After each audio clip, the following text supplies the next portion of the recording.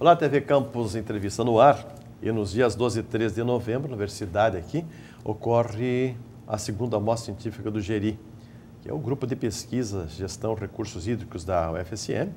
E esse grupo realiza pesquisa desde 92, fazendo 20 anos, portanto. E para falar aqui sobre a mostra, eu recebo aqui no TV Campus Entrevista a Elisandra Maziero, e a Jussara Cabral Cruz, que é vice-presidente da Associação Brasileira de Recursos Hídricos. Obrigado por terem vindo, né? É, Jussara, é, quais são os tempos? Como é que vai ser o encontro? Né? Esses 20 anos também, que já é uma data significativa. É uma né? data significativa. Faz tempo que vocês trabalham tempo, com isso, hein? Faz. É, em 92 nós tivemos uma, uma, uma oportunidade de trabalhar junto ao governo estadual para é, verificar as demandas do Rio Santa Maria. E estava em projeto a nível nacional, no Congresso e no Estado do Rio Grande do Sul, os projetos de lei das águas. E nessa oportunidade nós provocamos a discussão, inclusive foi num evento no próprio Perso Reis, na, no CT, e a comunidade da Bacia de Santa Maria esteve presente e dali nasceu o primeiro comitê, da, nasceu o primeiro, nasceu o comitê do, uhum. do Rio Santa Maria. E desde lá nós não paramos mais de trabalhar com a questão de gestão de recursos hídricos. Uh, o nosso evento surgiu há dois anos atrás, a primeira mostra, justamente porque o grupo cresceu muito nesse período, as pesquisas se desenvolveram muito, né?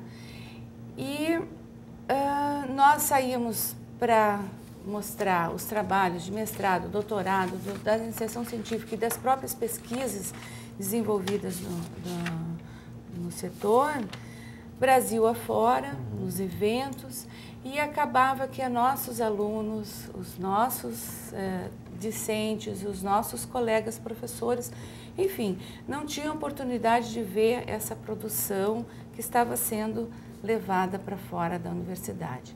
Então nós decidimos, vamos fazer um evento interno, simples, doméstico, né, para atingir essa demanda.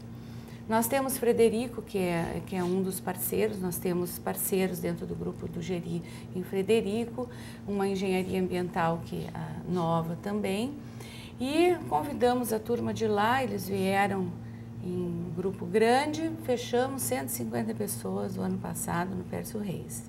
120, né, mais ou menos, não foram 150, 120. Uhum.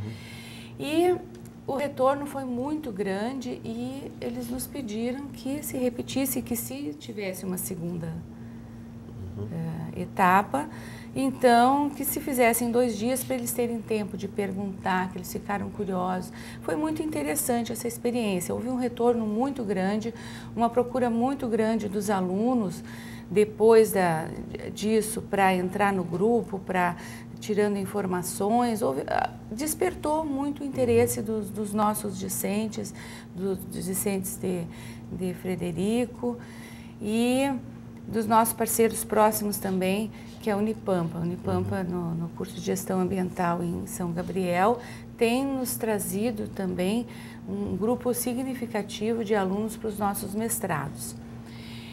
Uh, dessa forma, nasceu da, da, a segunda mostra, né, é, capitaneada também pelo professor Mário, que coordenou a primeira, e com o entusiasmo dessa meninada, a Elisandra uhum. é nossa ex-bolsista, ex-mestranda, uhum. Eh, pesquisadora pelo CNPq no grupo, agora é doutoranda também no grupo, tá? no curso de doutorado da engenharia agrícola também eh, dentro do grupo de pesquisa.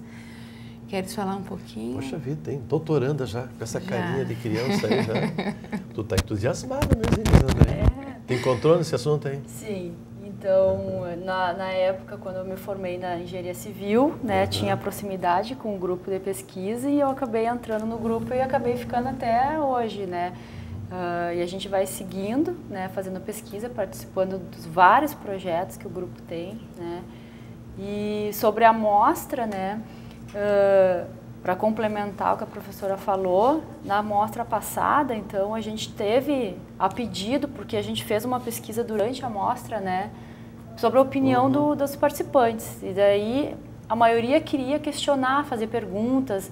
E como a nossa amostra foi mais rápida na outra vez, ficou faltando isso. Então, dessa vez a gente fez em dois dias, né? Justamente para dar tempo de ter um, um, um a, a, interagir entre, né, o, o palestrante e os participantes.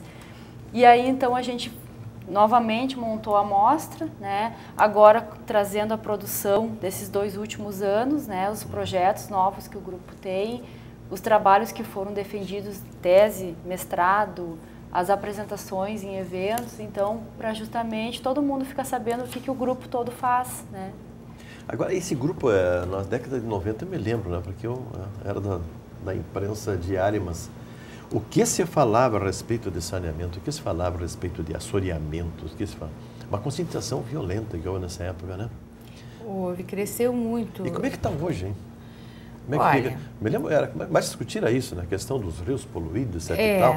Músicas, influenciou meio mundo, viu? Tantas é. canções protestando o contra isso. O que eu diria para ti, assim, ó, da minha experiência? Houve uma mudança muito grande nesses últimos 20 anos, né? eu diria 30 anos, não, não só a partir, é, de, de, de muito conhecimento novo que foi produzido, a questão desses, de, uh, desses temas. Né? Hoje esse tema finalmente está nas ruas, né? por isso que se fala muito, a gente vê nos jornais, vê as pessoas comentando. Mas ainda há um hiato muito grande entre é, o que se sabe que se precisa fazer e as atitudes políticas de fazer.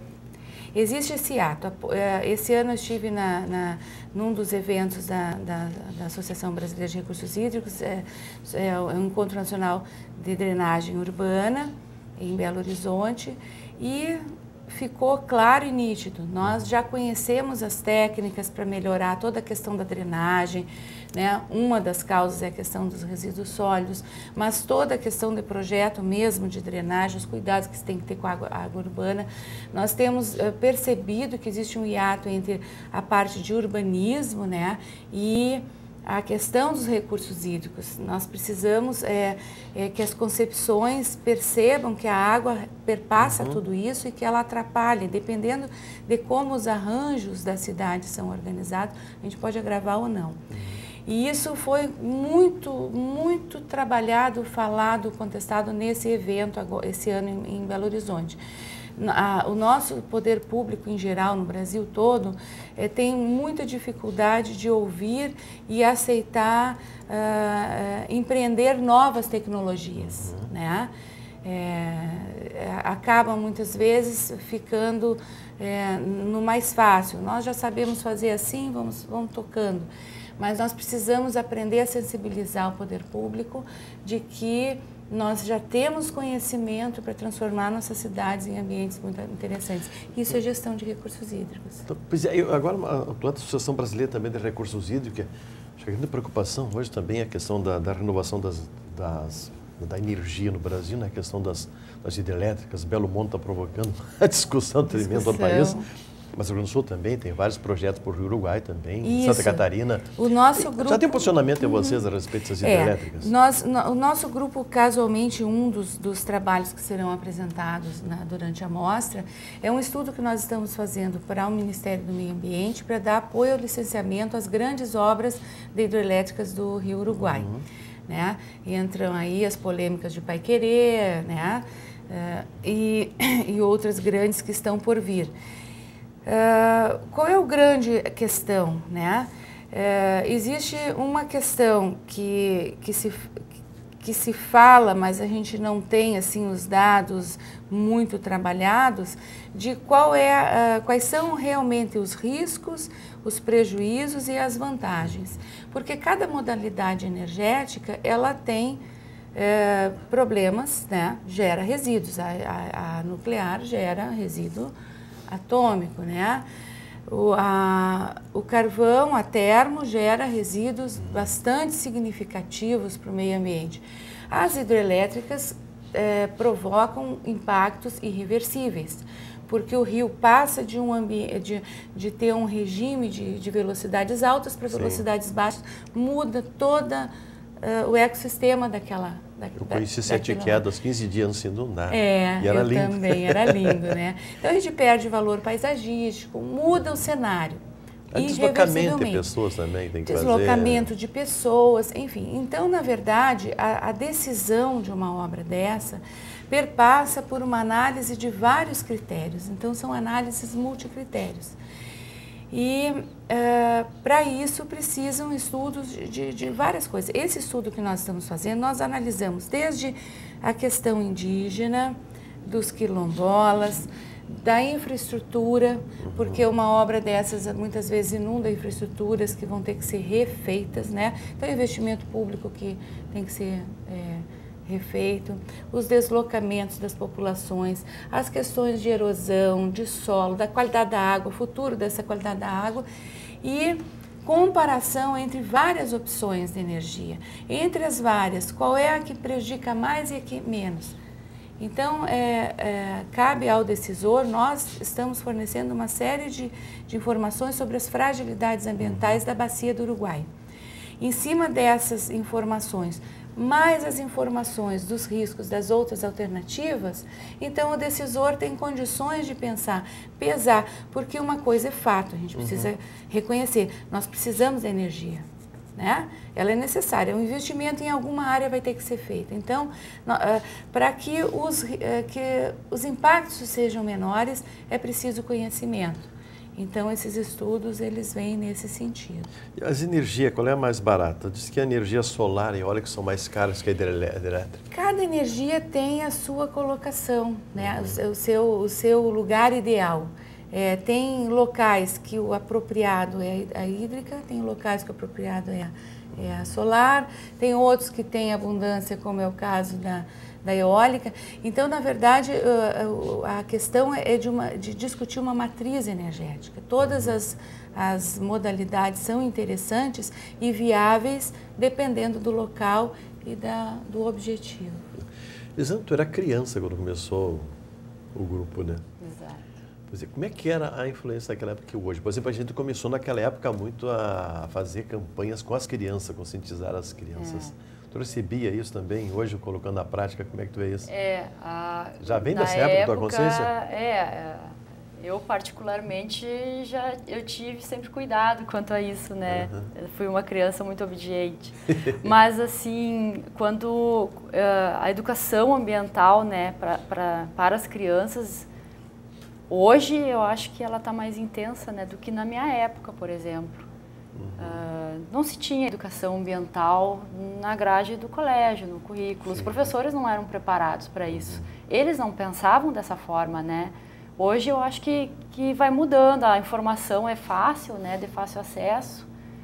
E, e, a, e o próprio desenvolvimento da legislação, né? Uhum. Como a professora falou, é da década de 90 para cá que a gente tem uma legislação mais sólida com relação à gestão de recursos hídricos.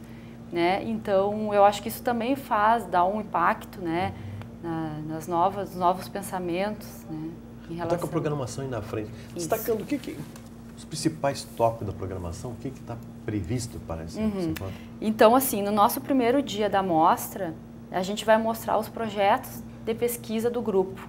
Uhum. Né? Alguns que foram encerrados neste ano, outros foram renovados esse ano e outros estão numa etapa, uh, na etapa 2, por exemplo, que é esse projeto de pesquisa sobre as hidrelétricas. Né? Então, uh, a gente tem a apresentação de cada um desses projetos, né? na parte da manhã e na parte da tarde. Na, na, no segundo dia da mostra, então, a gente vai apresentar todas as dissertações de mestrados defendida, defendidas nesse período, de dois anos para cá, porque na primeira mostra a gente mostrou tudo o que estava sendo feito nos dois anos anteriores. Né? Então, a gente tem nove dissertações de mestrado para serem apresentadas resumidamente né, para o público e uma tese de, mestrado, de doutorado, que vai ser apresentada também, que já está sendo uhum. praticamente defendida. Então, esses trabalhos foram defendidos agora ou estão praticamente com a data já da defesa marcada. Qual é a tua tese? A minha tese com relação à modelagem hidrológica. Mas é, nessa amostra, como ela ainda está numa fase inicial, não vai ser apresentada. Talvez na próxima uhum. eu já tenha algum resultado. E também a gente conta com a participação né, de uma outra ex-mestranda do grupo, que é a Mariane Ravanello, que hoje trabalha na ANA, que é a Agência Nacional das Águas. Que então é o, o máximo que se tem né, no país de, com relação à gestão. Né? E a, a Mariane vem trazer para nós, né, mostrar para esse público o que, qual é o papel da ANA na gestão de recursos hídricos do Brasil.